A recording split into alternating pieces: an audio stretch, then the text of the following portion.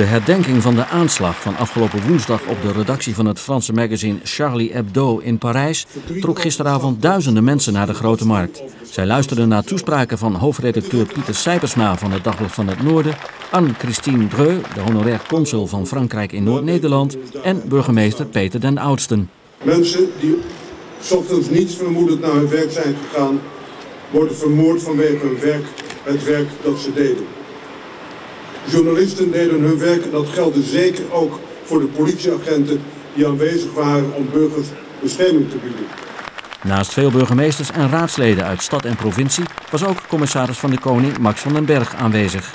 Ik weet dat heel veel Groningers op zo'n moment als gisteren allemaal met elkaar geschokt zijn. Iedereen heeft zijn eigen politieke en uh, religieuze overtuigingen, maar op zo'n moment ben je één. Je hebt het gevoel dat is een aanval op ons allemaal.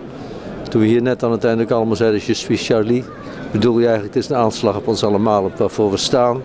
Uh, wat we belangrijk vinden in ons leven, van democratie en vrede. En, uh, dit zijn de momenten waarop je met elkaar moet reageren. En je zoekt ook steun een beetje aan elkaar. En ik vond het erg mooi hoe dat hier gebeurde en erg waardig.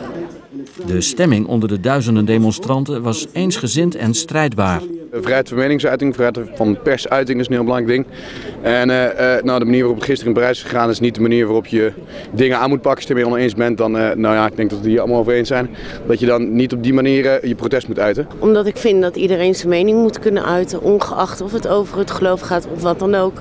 En ik vind dat dat niet ingebonden kan worden. Volgens burgemeester Den Oudsten is het altijd moeilijk om in te schatten hoeveel mensen naar een demonstratie komen. Maar deze grote opkomst deed hem zeer goed. Ja, ik vind het prachtig en uh, ontroerend. Uh, het, is, uh, het is als je daar op dat podiumpje staat, is het fantastisch om te zien hoe betrokken mensen zijn en hoe ze meeleven met wat er in Parijs is gebeurd. En ook, ja, het, het, is niet alleen medeleven met de slachtoffers en nabestaanden, maar ook echt het besef dat, je, dat hier iets gebeurd is wat ons ook echt in onze democratie raakt. Ja, het klinkt misschien wat lullig, want uh, als er een trein opgeblazen wordt, dat is ook heel erg. En als daar uh, bij wijze van spreken hetzelfde aantal mensen bij doodkomt. Maar dit, dit, is extra, omdat ze heel duidelijk erop, tenminste dat, dat denk ik, en dat denkt toch iedereen wel zo'n beetje, van erop uit waren om dat blad te pakken, omdat hij nogal kritisch was over over de islam. Ja, ik ben ontzettend verontwaardigd daarover dat dit, uh, dit gebeurd is. Het is echt uh, ja, ongelooflijk. Men zegt dan dat je het aan ziet komen, maar ja, het is altijd zo onverwachts. Het is iets schandelijks. Aan het einde van de demonstratie werd een minuut stilte gehouden. Het was muisstil, maar alleen de klokken van de Martini-toren hielden zich er niet aan.